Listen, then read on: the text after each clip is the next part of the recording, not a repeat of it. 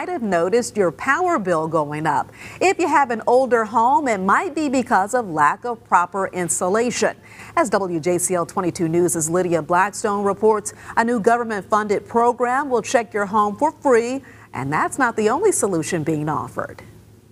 So I'm standing on a roof right now to show you what's behind me, these solar panels. They're one of many different ways that you can save on your power bill with various programs that you can sign up for. A million dollar grant has been given to Savannah to help low to moderate income individuals get energy efficient. You can qualify if you make under 100,000 annually. They partner with B Smart Home Solutions. They'll come to your home and show you what might need to be done to lower your bill. Another program, Georgia Bright, which offers solar panels for $40 a month, but the savings could be in the hundreds. All those programs are on our website at WJCL.com. In Savannah, Lydia Blackstone, WJCL 22 News.